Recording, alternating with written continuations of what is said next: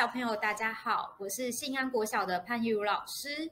在开始上课之前，请你们先准备好以下几样东西：铅笔、橡皮擦、国语课本、国语习作和荧光笔。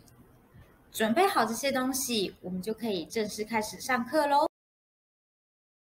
这一节课我们要这一节课的重点有学习的重点有架构分析、课文架构分析课文内容探课究、文内容探究阅读理解、与阅读理解最解。后我们会欣赏两会欣赏两课文内容相关的内容相关的的小短片。这一节课我们要学习的重点有课文架构分析、课文内容探究与阅读理解。最后我们会欣赏两部和课文内容相关的小短片。接下来，请你们跟着老师一起做。第一遍，请你快快读课文，然后标出自然段。第二次，请你慢慢读。你可以观察课文图片和课文的文意是否有相关之处，然后可以从上下文推测你不懂语词可能的解释。如果你遇到还是无法推论出解释的语词，你可以将它圈起来。第三遍，请你好好读，仔细的读，并写下段落纲要，有点类似报纸的小标题。最后，请你一边看着投影片，听老师说，然后思考后从课文中找寻答案。接下来，老师要示范什么是第一次快快读，标出自然段。快速的概览课文之后，只要每一段、每一个句子空两个字的地方，它就自成一个自然段。所以在你们的课本第十四、第十五页，总共有六段的自然段。接着第十六页、第十七页，第二则童话故事《永远的昙花》一样有六小段，请你帮老师把数字标示上去。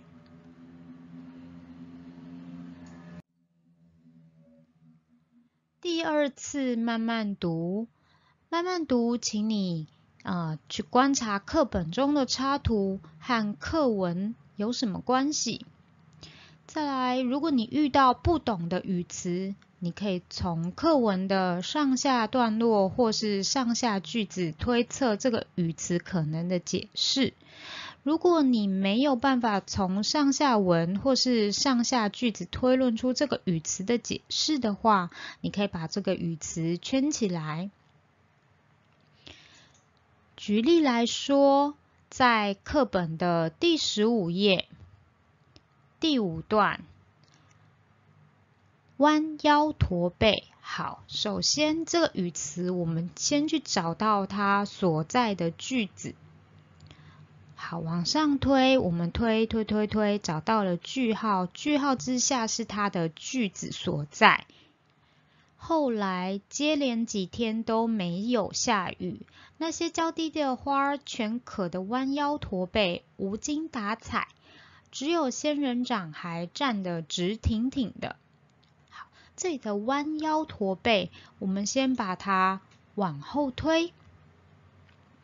你有没有发现，他写只有仙人掌还站得直挺挺的，所以仙人掌跟这些花的状况是不一样，所以他用只有，就是仙人掌是和它们不一样的，它是例外。那它的例外呈现什么样的状况呢？是站得直挺挺的。所以从这个地方，我们可以去推论，从直挺挺这个语词可以去推论，它和弯腰驼背是一个相反的状况。那弯腰驼背，它的相反四字语词就是抬头挺胸，所以直挺挺是抬头挺胸，那弯腰驼背，它就是它的相反状态，可能就是它就是哦，对，类似无精打采。这是一个推语词解释的推论方式。那老师示范了第一则故事的语词推论方式以后，再来我们来进行第二则童话故事的陌生语词推论方式。在第十六页自然段第四段的第一个句子“不起劲”。好，如果你不知道“不起劲”是什么意思，一样把这个语词找到它完整句的所在，把它大声的念出来。它们陆陆续续开花了，可是都开得很不起劲。好，这是这个语词它的语句所在。第二个是，呃，第十七页第六段自然段第六段枯萎，我们一样找出这个语词完整句的所在。清晨，小昙花枯萎了。好，这两个语词，假设你一开始不知道它的解释的话，你可不可以从上下句子或是前后文去做推论呢？首先，我们看“不起劲”这个语词，在同一个句子中有一个可是。老师之前有教过，当你读到可是的时候，你知道这个语语气已经有了转折。好，那我们再往前推或往后推，往后推，小昙花的表现却不一样。好，代表这个他们跟小昙花是不一样的对象，他们指的可能是其他的昙花，可是小昙花的表现却不一样，和谁不一样？和他们不一样，他们指的是谁？嗯，对，从前一段也可以知道，他们是昙花大姐的代名词，所以，呃，昙花姐姐们陆陆续续开花了，可是呢，开得很不起劲。有人和它不一样，不一样的是小昙花，哪里不一样？我们继续往下找。那天晚上，他使出全身力气，开心的笑着，把自己笑成一位最美最香的叶之皇后。这个“她”是什么东西的代名词？对，是小昙花。所以小昙花呢，它跟姐姐们不一样。它的不一样之处是，它使出全身的力气哦，努力的开着花，所以它。和它状况相反的这些大昙花、昙花姐姐的不，他们的状态是不起劲。那不起劲是什么意思呢？就是使不上力气，有气无力的意思。所以这就是一种从前后文推论语词解释的方式。好，再来呢，第六段的这个枯萎，我们可以把它往前推，或许不在刚好在前一段，它有可能在前面几段的文章。老师这里拉了一个箭头到第二段的地方。好，这一个句子，今晚开花后，明天早上我便要和大家道别了。请问这一句话是谁说的呢？姐姐，谁的姐姐？小昙花的姐姐。对，小昙花的姐姐呢？她觉得今晚开花后，明天早上我便要和大家道别了。那这里的和大家道别是什么意思呢？对，就是指昙花的生命结束了。所以呢，植物的生命结束就是枯萎。好，再来是第三次慢慢读，要把呃自然段合并成合并成意义段，写下它的段落纲要，下小标题。从第十四页、第十五页第一则小故事“别笑仙人掌”的第一段，好，主角出现了，主角发生了什么事？我们从第一段，嗯，一句话把它浓缩、长话短说，变成一个简单扼要的标题。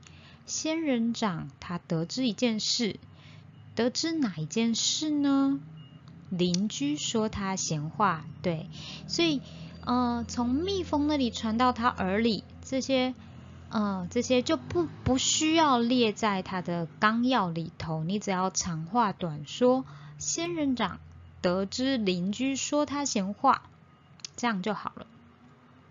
好，接着呢，请你们看到自然段的第二段、第三段和第四段。第二段、第三段和第四段呢，它讲的就是不同的花去取笑仙人掌的外表。有哪些花？有百合花，有杜鹃花，有玫瑰花。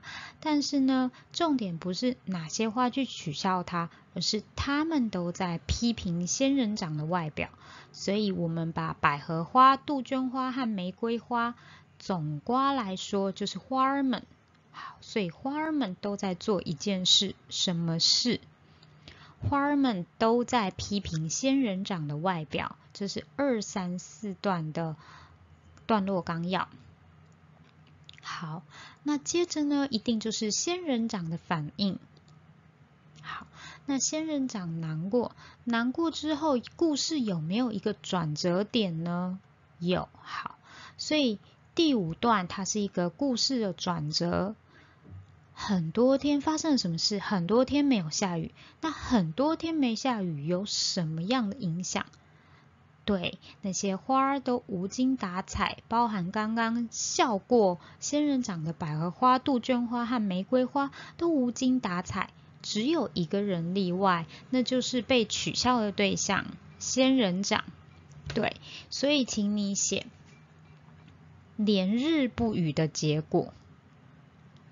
连日不雨，花儿都无精打采，只有仙人掌。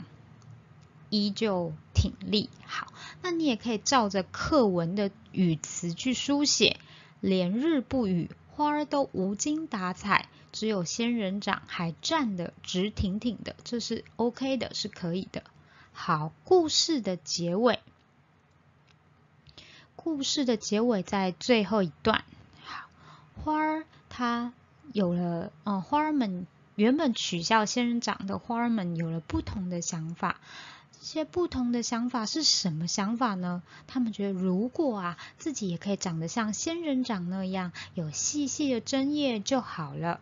好，那他们已经不再瞧不起它，所以他们等于了解了仙人掌的优点。所以是花儿们终于了解仙人掌的优点。好，以上是第一则故事的摘要。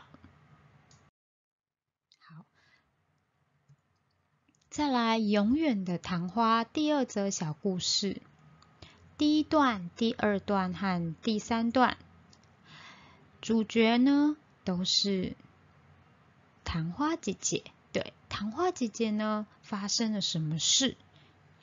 昙花姐姐很难过，为什么难过？对她，嗯，今天开花，明天。就要和大家道别，这在说什么情况？从第三段你可以去推论。对他觉得自己的生命很短，所以昙花姐姐她难过原因是觉得自己的生命很短，所以你可以这样写：什么人发生什么事？昙花姐姐为自己的生命短暂而难过。这就是一二三段合并起来意义段的段落摘要。好，接着我们来看第四段。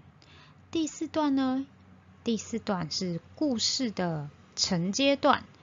有一个人，他和其他的大昙花不一样。这个人是谁？